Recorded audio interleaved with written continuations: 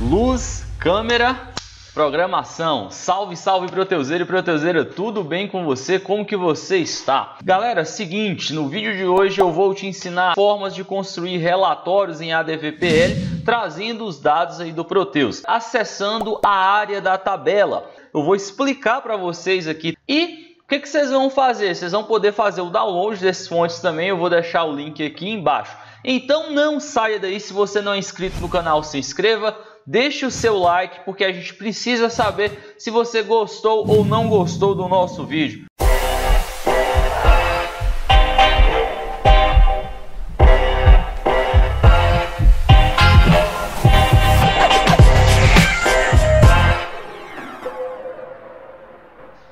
Agora eu vou explicar para vocês esse SB1 Work Area. O que, que quer dizer esse SB1 Work Area? Diferente do, dos outros dois fontes, esse fonte aqui ele não utiliza SQL. Por que, Júnior, que ele não utiliza SQL?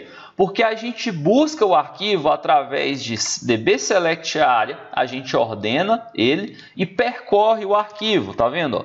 Seleciono a área da tabela SB1. Isso quer dizer que vou fazer uma varredura em todos os registros.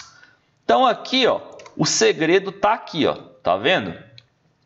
Com o SQL você seleciona o que você quer e depois você trabalha os dados colocando dentro do array, dentro do while. Aqui não, a gente vai fazer tudo dentro do, do while, tá vendo? Diferente daqui que você já pegou o while com os arquivos pré-selecionados aqui, o que, que o SQL faz? O SQL ele filtra, aí depois você trabalha aqui.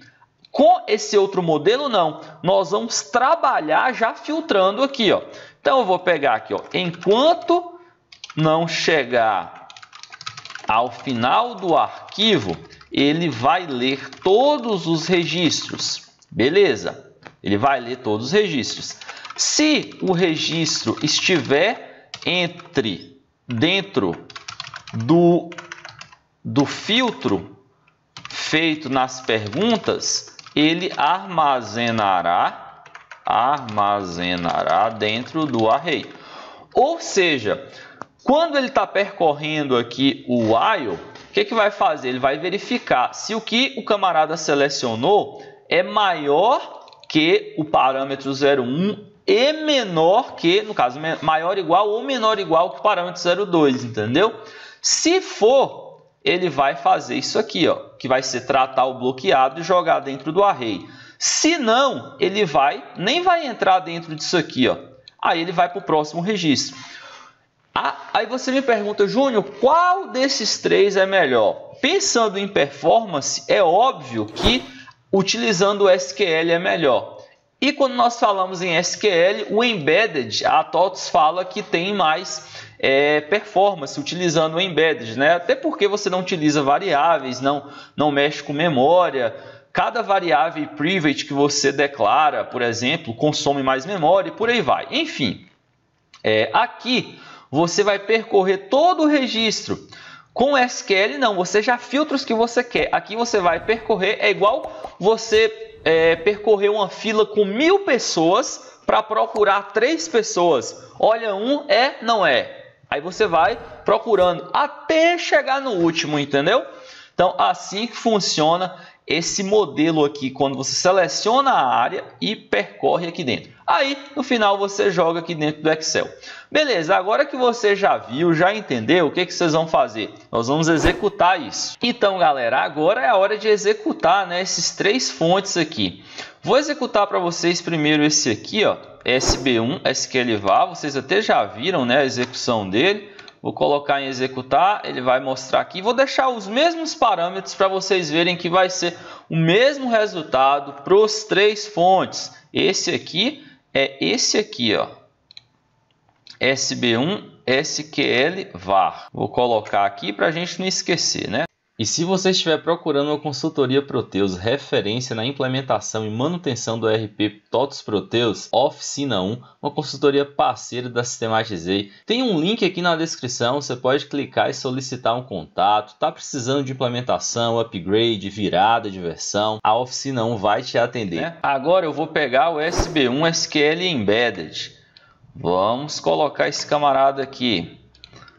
Vou colocar aqui executar a mesma coisa. Vamos ver, vai abrir outro relatório e eu vou colocar ele aqui, ó, SB1 SQL Embed. Tá aqui, ficou branco. Deixa eu colocar ele aqui com preto. Pronto. Agora vai ser quem? SB1 Work Area. Vamos colocar aqui esse camarada, ó e ele vai abrir de novo o mesmo Excel, só que olha aí, ó, com os mesmos dados também. Beleza? Ó, esse aqui é um, esse aqui é outro e esse aqui é outro. O que, que tem de diferente neles? Esse aqui, esse aqui, e esse aqui. Nada, tudo igual. Tá vendo? A mesma coisa, ó. Por quê? Porque eu só mudei a forma de buscar os dados. Mas aqui o, o esperado, né, que o resultado fosse o mesmo aqui para os três relatórios, tá? Galera, então é isso. Se você quiser baixar esses três arquivos aí, eu vou deixar um link aqui embaixo você vai poder fazer o download de todos eles, beleza? Agora é o seguinte, não sai daí que eu vou te mostrar uma coisa. Olha que coisa interessante. Você sabia que tem centenas de alunos ganhando dinheiro, construindo fontes em ADVPL, fazendo isso que eu acabei de ensinar? Só que, claro, eles fazem os relatórios né, com um nível mais hard. E para isso eles estão aprendendo com o quê? Com esse curso aqui, o Formação Desenvolvedor Proteus 1.0. É um treinamento que tem quase 200 aulas e a gente pega desde as regras de negócio do Proteus, a gente trabalha com banco de dados, consulta em SQL, relatórios em ADVPL, você tem lógica de programação, então é um combo aqui com muitos cursos para você. Você ainda ganha dois e-books aqui para você estudar. Gente, seguinte, eu fico vendo inúmeras pessoas que gastam milhares de reais com faculdade e não aprendem nada. Faculdade não é garantia de sucesso, não é garantia que você vai chegar lá. O que importa é o conhecimento. Você tem que pegar o conhecimento e transformar ele em trabalho. E na data que o vídeo foi postado, esse treinamento está com vagas abertas. E você pode começar a estudar agora. Em 5 minutos você já recebe o acesso aí no seu e-mail, tá? E outra, se você não gostar do treinamento, você tem até 7 dias para pedir o seu dinheiro de volta. Então olha só os depoimentos dos alunos aqui. Se você quiser saber, só assistir, beleza? Inúmeros alunos falando bem desse treinamento, inúmeros alunos conseguindo trabalho através desse treinamento.